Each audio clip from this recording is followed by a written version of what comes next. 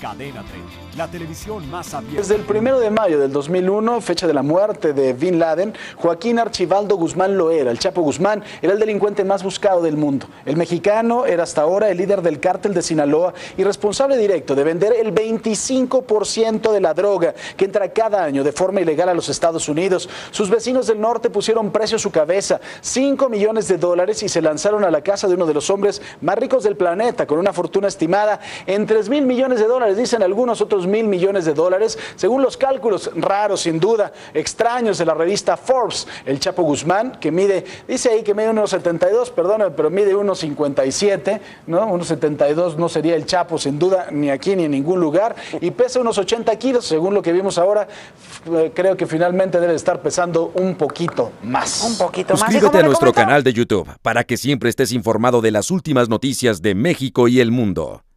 Empieza ahora mismo dándole clic a estos videos.